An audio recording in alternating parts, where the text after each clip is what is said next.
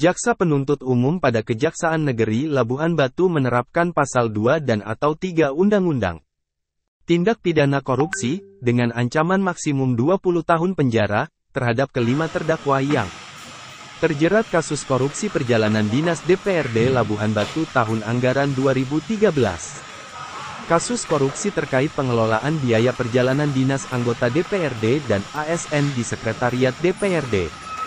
Kabupaten Labuhan Batu tahun 2013, terhadap kelima terdakwa yakni BR, FS, ZS, FTA dan AS saat ini telah memasuki proses persidangan di Pengadilan Tindak Pidana Korupsi Negeri Medan.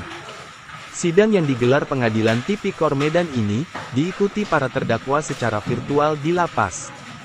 Kelas 2 Rantau Prapat, Labuhan Batu. Kepala Kejaksaan Negeri Labuhan Batu, Furkon Syalubis melalui Kasipitsusnya, Hasan Afif Muhammad. Menjelaskan, terkait dengan penanganan perkara tindak pidana korupsi terhadap pengelolaan biaya. Perjalanan dinas, telah memasuki agenda pemeriksaan saksi, di mana pihaknya mendakwa kelima orang.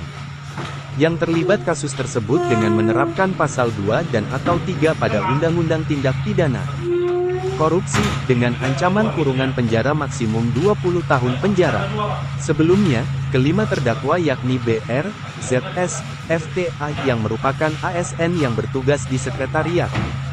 DPRD Labuhan Batu dan dua mantan sekwan yakni FS dan BR telah ditetapkan sebagai tersangka oleh Polres Labuhan Batu terkait dugaan penyelewengan anggaran perjalanan dinas anggota DPRD yang merugikan negara senilai 5 miliar rupiah pada tahun 2013 lalu.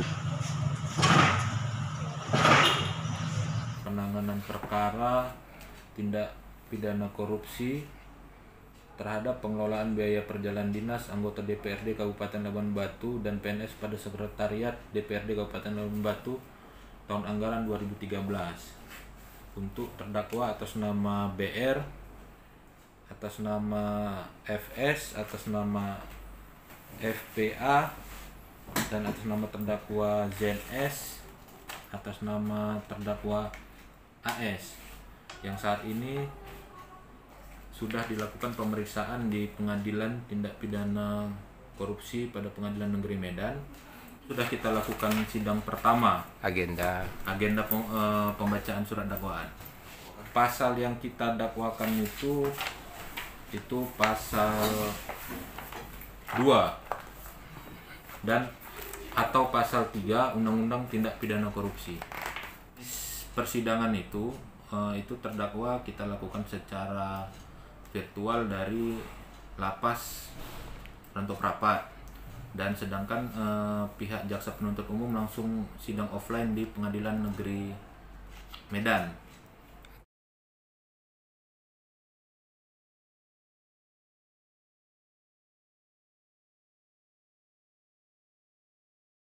Dari Labuhan Batu, Sumatera Utara, Tim Liputan Binews TV. Binews TV.